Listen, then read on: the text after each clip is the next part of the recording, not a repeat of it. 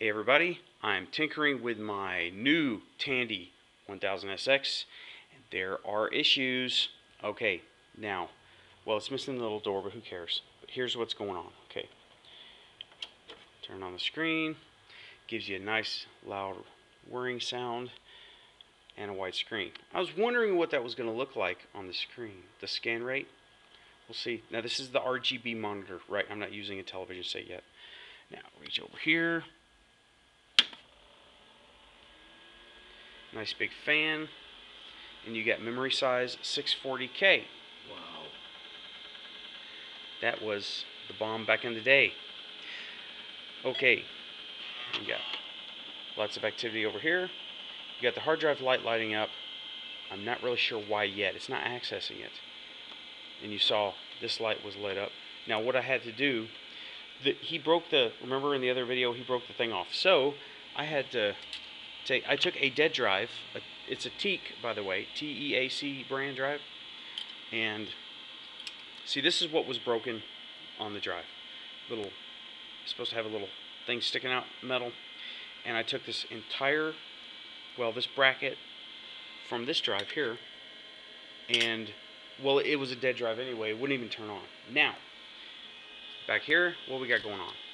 It says BIOS ROM version blah blah blah compatible. Okay, Phoenix BIOS, right?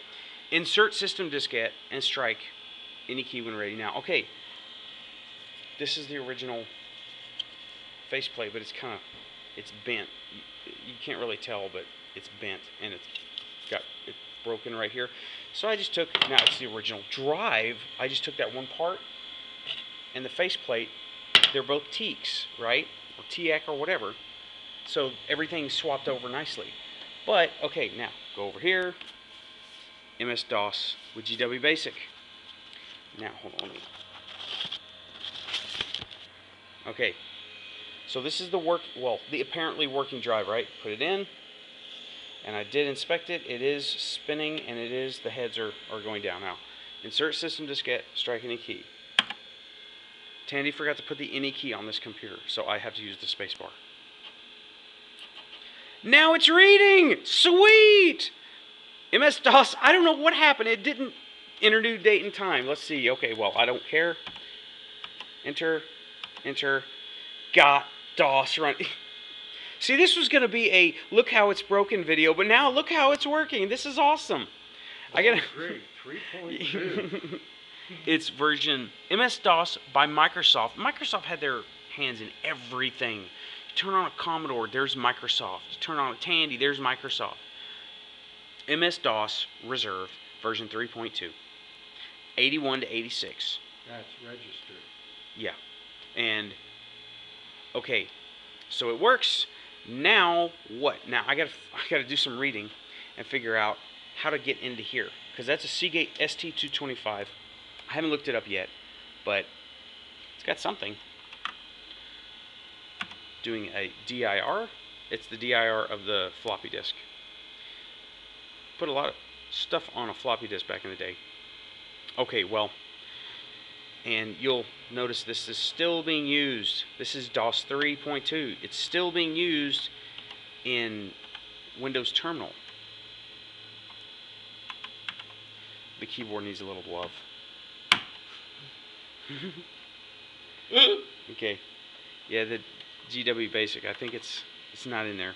But I bet it's inside a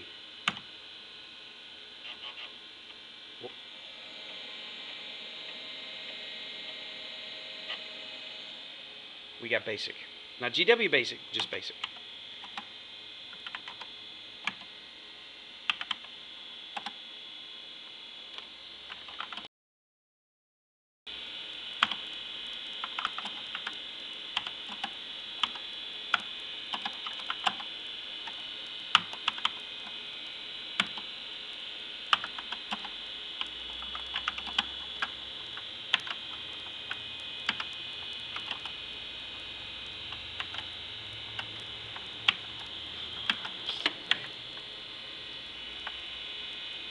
Doesn't want to click.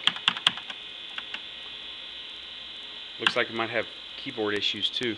Well, it's been sitting in a barn in El Paso for probably 20 years, so.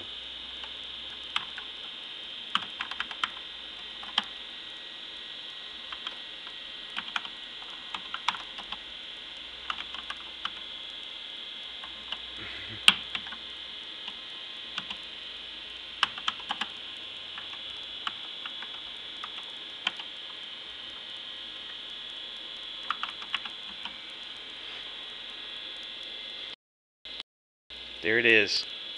Tandy saying hello YouTube. There you go. Okay. Okay.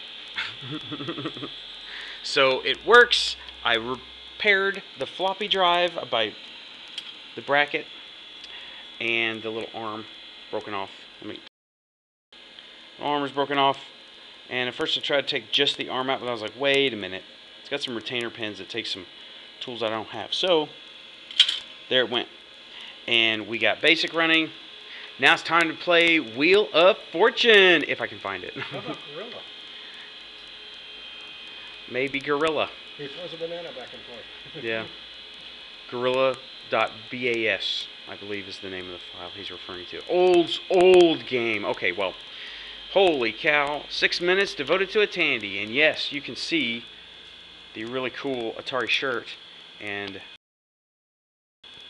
can barely see that. Okay, I don't like to be in my own videos because I'm not the subject.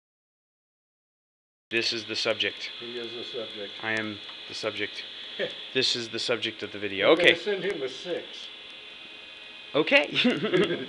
I have yet to hook up the printer, He is the subject. and this is working nicely. I guess it just needed to like get back into whack. You know, that's something else I've been meaning to comment on. Somebody says something's whack, meaning it's bad, but when then, but then something when it gets out of whack, that's bad. So you got to always have a little bit of whack, even if it's whack. You got to have a little bit of whack because when you get out of whack, that's just bad. Okay. Yeah, there's there's the whack inducer right there. All right, talk to you later. Bye bye. Having fun. Bye bye.